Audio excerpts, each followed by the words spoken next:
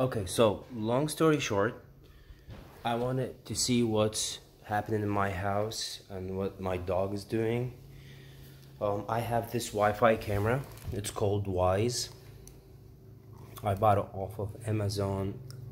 It was $30. And I have this old battery bank that powers this camera around 4 to 5 hours depending the capacity of the battery bank. There's this Eufy, Eufy or whatever it's called. You can actually control this vacuum through your cell phone. So it doesn't have to be Wyze or Eufy. I'm not sponsored by these anyway. But it can be anything else. Be creative.